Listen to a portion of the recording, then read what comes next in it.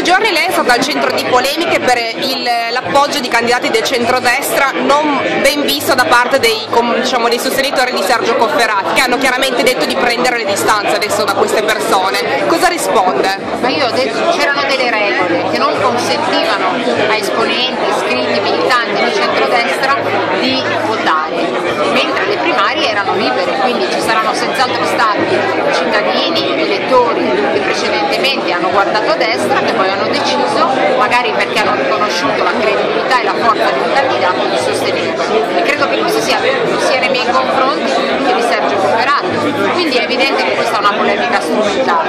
Ho detto con grande chiarezza che le mie alleanze saranno alleanze di cui io guarderò al centro, ma che non sono disponibile a fare alleanze con un partito che abbiano nella denominazione, nei valori, un richiamo esplicito alla destra. Chi si allea con job.